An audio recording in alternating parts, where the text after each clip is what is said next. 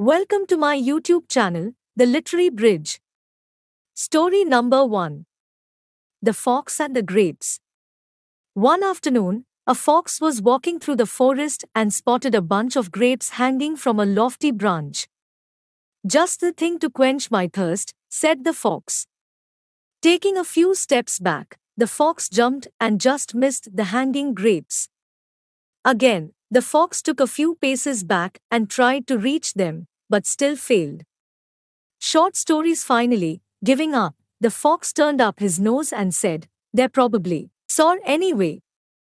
Then he walked away. Moral It's easy to despise what you cannot have. Story number 2 The Milkmaid and Her Pail. Patty the milkmaid was going to the market carrying milk in a pail on her head. As she went along, she began calculating what she would do with the money she would get for the milk. I will buy some fowls from Farmer Brown, said she, and they will lay eggs each morning, which I will sell to the parson's wife. With the money that I get from the sale of these eggs, I will buy myself a new dimity frock and a chip hat, and when I go to the market, won't all the young men come up and speak to me? Polly Shaw will be so jealous, but I don't care. I shall just look at her and toss my head like this. Short stories. As she spoke that, she tossed her head back and the pail fell off it, and all the milk was spilt. Moral Do not count your chickens before they are hatched. Story number 3 The Monkey and the Dolphin.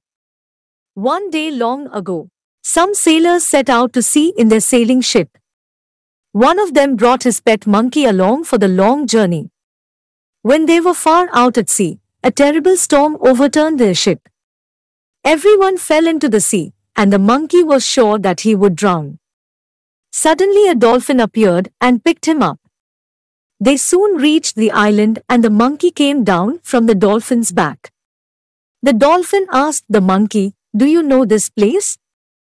The monkey replied, Yes, I do. In fact, the king of the island is my best friend. Do you know that I am actually a prince? Knowing that no one lived on the island, the dolphin said, Well, well, so you are a prince. Now you can be a king. The monkey asked, How can I be a king? As the dolphin started swimming away, he answered, That is easy.